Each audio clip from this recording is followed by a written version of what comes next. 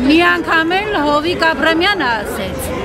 Հետո տեսան, որ ասենք այնց օրը փոխեցին, ինչ որ միջորեք շաբթի արեցին, երկու նախարար այս կողմով մտան, նրանից հետո դուք տեսնում եք, որ նախարարն է այս կողմով գալի։ Սփյուռքի նախարարը, կրթության նախարարը, Սպորտի սպորտի նախարարը։ նախարարը։ Առողջապահության Ուրա արդարադատության նախարարը, ուրա դատախազը, ուրա ոստիկանապետը, ուրա պաշտպանության նախարարը։ Ում համար ենք մենք ստեղ կանգնել։ Ընդունելություն, այո, հիմա դիմում են գրելու վարչապետը պիտի ընդունի։ Ոնց որ այն ժամանակ Հովիկ Աբրամյանը ընդունեց, ասեց, սա միայն Բաղրամյան 26-ի լուծելու հարցն է, սա միայն գլխավոր գերագույն նախագահի լուծելու հարցն է ձեր երեխեքի խնդիրը։ Թող ինքն էլ ասի, թող ինքն էլ ընդունի, լսի մեզ։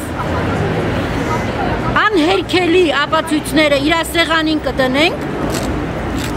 Թող 10-15 գրուպա իրավապաշտպաններ